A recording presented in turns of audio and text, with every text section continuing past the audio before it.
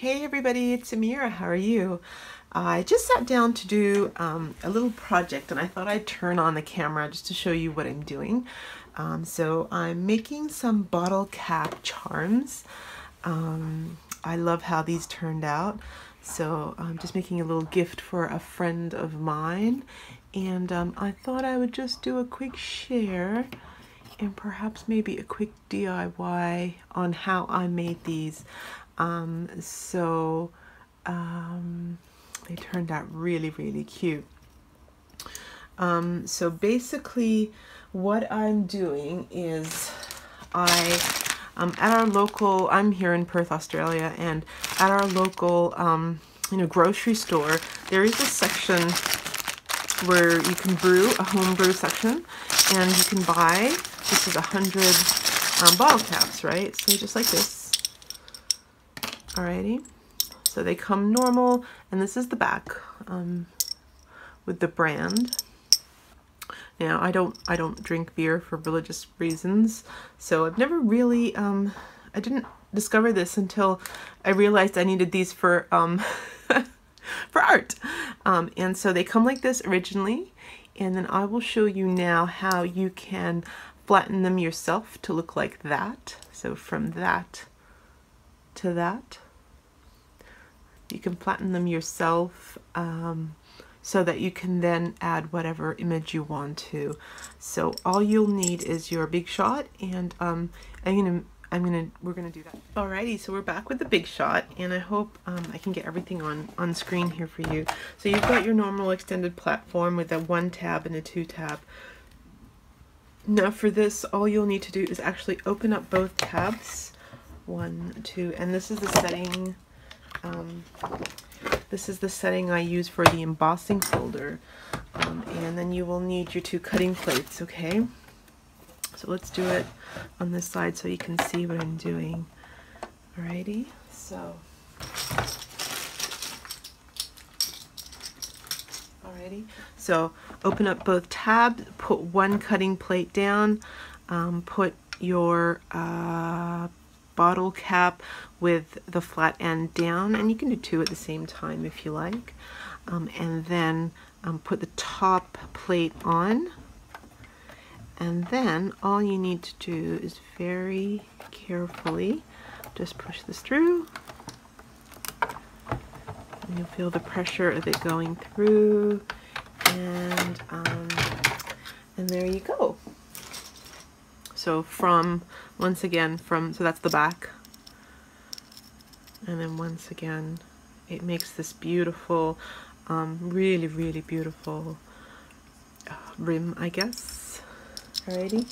Now, let me show you what happens um, because I like to show, I like to do things the wrong way to show you what not to do.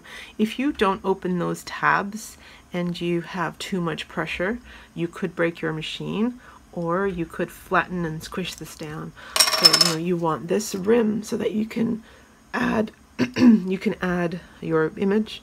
And then this is a completely flat ruined piece right? And I'm really lucky that this didn't break my machine. Um, I just wanted to see what happens and that's what happens. Alrighty.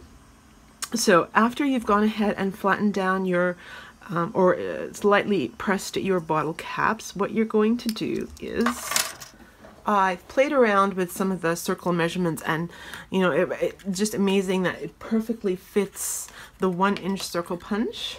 And so this is what I've done here a one inch circle punch and I've just used normal PVA glue and I've glued it down. Then what you need to do is you need to go ahead and have a look at any images that you want to either square cut or like this. So square cut little images or you could actually just use your one inch circle punch and circle you know um, align that right in the center and then circle punch that and you can just put that image straight on to the bottle cap.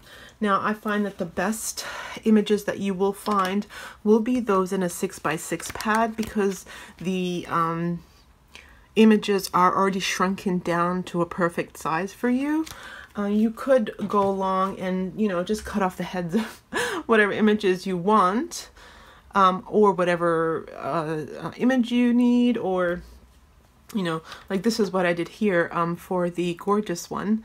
Um, I just found a little image online and I downloaded it and then I just, um, you know, punched it out with that circle. So after you have done that, so after you found your image and you've circle punched it, all you need to do is, you know, you could always um, put uh, a sentiment that's always good. So I've got these that I've typed out on my computer and then printed it out and I just use them as I need to. So I've glued them down. So the next thing you need to do is you need to seal your image from one edge to the other. Okay, um, and that's a really important step because I'll show you why in a second. So uh, image, sentiment, seal it. Next thing you need to do is you need to put a dimensional product on. Um, you can use glossy accents, that works wonderful. And you can use Mod Podge Dimensional Magic, that looks beautiful. Let me show you just here, I'll bring it into, you can probably see it. it this is still really wet and you can see, oh dear, I just don't want to disturb it. You can see that it's really cloudy. Um, and so this means that it's still wet. Once it's dry, it goes clear like this and it's beautiful and it's shiny and um, it just looks amazing. This is what happens when you don't seal. So if all you do was you add your circle punch, glue it down, and then you added the Mod Podge Dimensional, this is what happens. It starts peeling off because you didn't you didn't seal it from edge to edge. It starts peeling off and you know it'll start cracking and this is what not this is what happens when you don't seal with Mod Podge or put any sealer before you add the dimensional magic. Okay? So um so yes this is um this is my project quick project that I wanted to share with you um, go ahead and um, you know, check out your homebrew section in the grocery store and grab some of these. I think that bag was like $5 for a 100. I know on eBay you can get like 5 for $5, the proper bottle cap ones. Um, I, I, um, I don't, you know, I don't think that I need to buy them now that I know how I make how to make them myself. And then if you're unhappy with that, um, you know, that logo in the back there, all you can do is just add um, you know, another circle punch and it looks fabulous both ways. Another tip for bottle cap charms is how to um, put a hole in them so that you can wear them, um, you know, put them in your jewelry. So what I do is I use my Crop-A-Dile, I love this thing, journals and metal art, it, you know, you need this as a tool. Um, so all you need to do really is just kind of um, can you see what I'm doing here? Just barely, barely um, find that lip.